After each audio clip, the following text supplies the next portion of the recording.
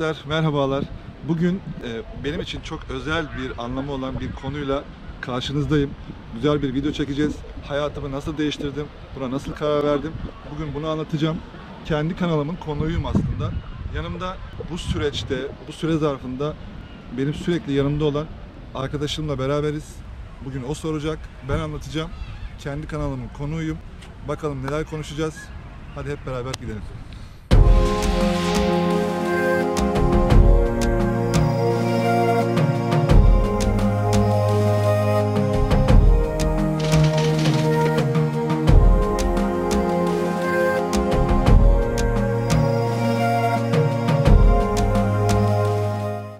Serdar'la beraberiz.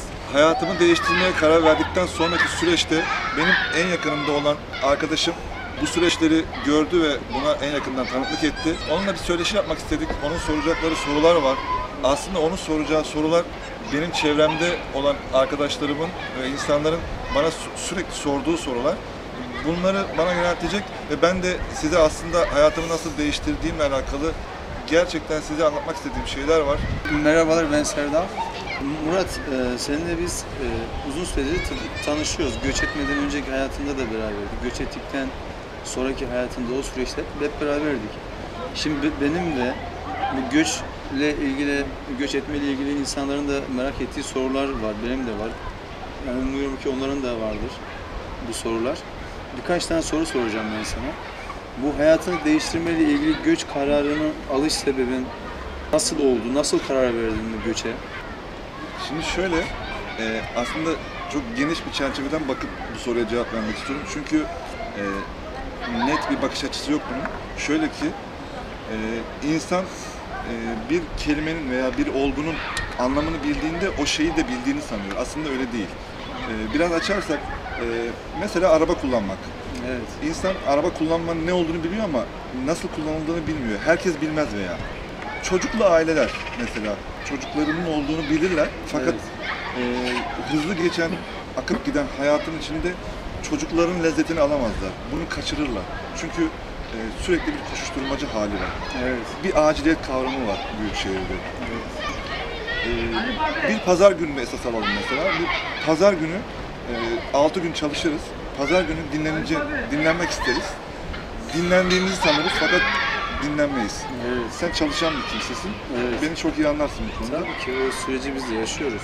Ee, aslında hepimiz bize yazılan bir senaryonun oyuncularıyız. Evet. Akıl almaz, anlamsız bir aciliyet kavramı var. E, Bundan dolayı yediğimiz yemeği bile tadını alamadan yeriz aslında midemizi kandırırız. Büyük şehirde yaşama stresi, sokağa çıkacağım stresi, o büyük şehrin trafiğine çıkacağım stresi, o koşuşturma, insanın stresi sokuyor değil mi bu tür şeyler? Yani yediğin yemeği bile kaçırıyorsun, anlamıyorsun aslında. Yediğini zannediyorsun. Bir hızlı koşuşturmaca, bir hamburger, bir simit. Yediğini zannediyorsun aslında mideni kandırıyorsun. Çünkü bir yere yetiştirme stresi var. Evet. Hayat koşturma stresi var. Aslında hepimiz bir senaryonun içindeyiz. O senaryonun oyuncularıyız. Öyle deneyimler yaşıyoruz ki e, o zaman bilmeye başlıyoruz. Az önce anlattığım o şey var ya, Evet. aslında o deneyimlerden sonra o zaman bilmeye başlıyoruz. Biz ilk önce içimizdeki hissiyatı, tutkumuzu belirleyebilirsek, nasıl yaşamak istediğimizi bunu belirleyebilirsek aslında gideceğimiz yolu da tam olarak belirlemiş oluyoruz. Yediğim yemeği bir yerlere yetişmeye çalışmadan yediğim için keyifli bir şekilde yedim ve yemek yediğimi o zaman anladım. Bu Uzun zamandır e, şehirde yaşadın. Bu hayatın dayatmaları desem neler söylersin Murat? İnsan sürekli yanında bulunduğu arkadaşını ve çevresini ister istemez kopyalıyor. Evet. Onun davrandığı gibi davranıyor. Yani su kabına göre şekillenir diyoruz ya. Şehir hayatı da, dayatmaları da bizi öyle bir kalıbın içine sokuyor ki biz bunun dışına çıkamıyoruz. Bunun dışında davranamıyoruz. Evet. Onu kopyalıyoruz. Onların istediği gibi yaşıyoruz. Kafamızı biraz kaldırmaya çalıştığımızda hemen kafamıza vuruyorlar. Bu kapital düzen, bu şehir hayatı bizi öyle bir mecburiyetin içine sokuyor ki Evet. bunun farkına varamıyoruz. Onların istediği gibi yaşam, yaşamaya çalışıyoruz.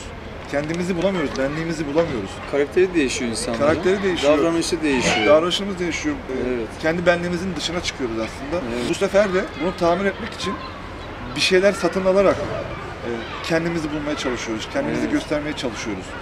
E, 200 bin TL'lik araba alarak üstünlük sağlamaya çalışıyoruz. Harika bir gömlek alarak arkadaşımızın önüne geçmeye çalışıyoruz. Hep lüks hayat özentisi oluyor. Bir özentiyle arkadaşımıza veya çevremizdekine üstünlük sağlamaya çalışıyoruz. Evet. Aslında bize şunu söylüyor. Şu arabayı alırsan şu mevkide olursun. Şu işi alırsın, şu fabrikanın, şu holdingin işini alırsın. Şu paltoyu giyersen şu mevkide olursun. Şu statüye koyarlar seni Evet. gibi bize üstünlük sağladığını düşündüğümüz konuların içine atıyoruz. Aslında bu kapital bir hapishane. Ona yöneltiyorlar değil mi insanlar? Mecbur musun gibi sanki o insanların hayatını, karakterini yaşamaya mecbur musun gibi oraya itiyorlar değil mi insanları? Aynen öyle ve uyanmamıza izin vermiyorlar. Evet. Büyük şehrin verdiği bu dayatmalarına karşı sen de böyle bir gö- göz kararı aldın sanırım. Evet. Sonra şöyle düşündüm. Ben bunu kabul etmiyorum. Ben hayatımı 180 derece nasıl değiştiririm? Çocuklarımı, ailemi nasıl kurtarırım? Hayatımız başkalarının hayatını yaşayacak kadar uzun değil. Dolayısıyla bunun zamanlaması konusunda 30 ila 40 yaşları arası biraz daha kolay olur, olabiliyor. 40'ı biraz aştığında, ben 40'ı aşmadım ama 40'ı aştığında tahmin edebiliyorum.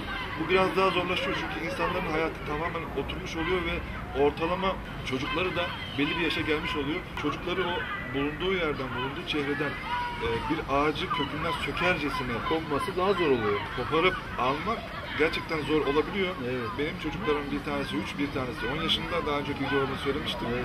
E, bu belki benim işimi kolaylaştıran konulardan bir tanesi olmuş olabilir. Beni biraz daha e, bu göç hareketine yaklaştırmış olabilir. Bu şehir düzeni içinde aslında kendimiz ol- olamıyoruz değil mi Murat? Evet, e, aslında çok acı bir şey söyleyeceğim sana. Şehir düzeninde, şehir düzeninde yaşadığımız yaşam uzun vadeli bir deprem aslında. Uzun vadeli bir yıkım. Büyük kararlıyı düşünebilmek, minimal düşünebilmek, e, böyle yaşayabilmek sanki beni daha mutlu edecek gibiydi.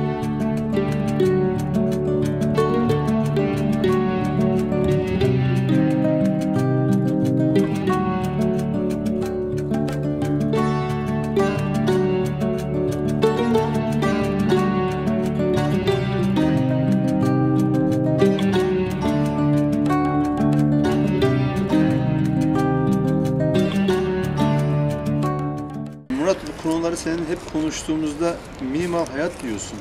Bu minimal hayat demekte ilk kastın ne onu merak ettim. Değil mi? Son zamanlarda böyle minimal hayat, Evet. minimal, minimal düşünce, Çok geçiyor konularda. minimal yaşam. Sürekli Evet. böyle dillendirilen bir cümle. Evet. Ee, yaklaşık bir yıl oldu ya ben gideli. Ee, çok önemli bir şey söyleyeceğim. Yani azda çoğu gördüm. İşte o az minimal yaşam. Yani azın içinde çoğu gördüm aslında. Bir anda siyahtan beyaza döndüremiyorsunuz hayatınızı. Arada gri renkler de olması lazım. Çünkü hayat böyle zaten. Murat, e, peki bu göç etme kararı alma aşamasındaki insanlara veya göç etmek isteyip de böyle bir kendine güven olmayan insanlara neler söylemek istersin? Göç etmek için ne yapmaları lazım? Nasıl bir karar vermeleri lazım?